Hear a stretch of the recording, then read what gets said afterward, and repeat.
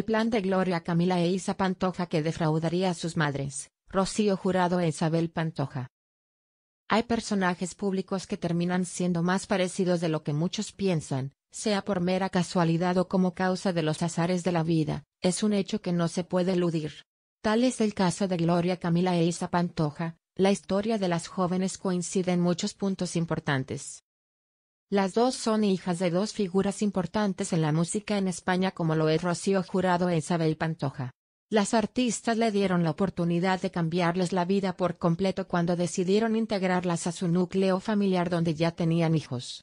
En el caso de la hermana de Rocío Carrasco proveniente de Colombia que llegó de la mano con su hermano José Fernando.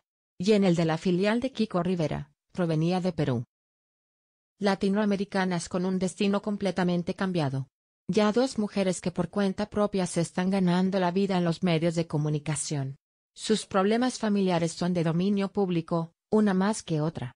Gloria Camila estuvo como colaboradora en diferentes realities, ahora finalmente tiene su lugar fijo en Ya son las 8. En el caso de Isa Pantoja está trabajando en el programa de Ana Rosa, desde allí tiene su espacio para expresarse también sobre los temas que afectan a su familia. Pero curiosamente, este año las dos mediáticas se vieron involucradas en desacuerdos muy comentados con sus hermanos. Gloria Camila que desde hace años no mantiene contacto con Rocío Carrasco, decidió llevarla ante un juez para que facilitara los escritos de Rocío Jurado que según habían anunciado antes del segundo documental, serían expuestos en dicha producción.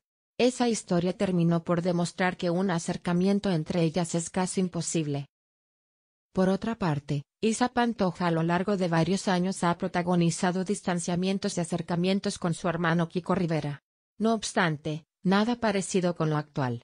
La boda de Anabel Pantoja y todo lo que ocurrió después, dejó ver la complicada relación que siguen manteniendo, y que se dinamitó con la última expresiva que concedió el DICHIL donde arremete contra Chabelita.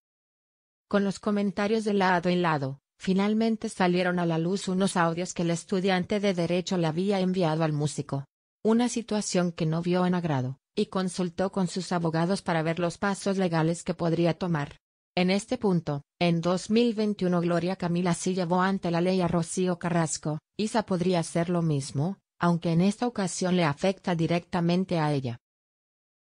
En los próximos días se sabrá lo que decide Isa Pantoja, y si en medio de toda la polémica familiar que vive su hermano y su madre, decide seguir adelante y complicar aún más la afectada relación con Kiko Rivera.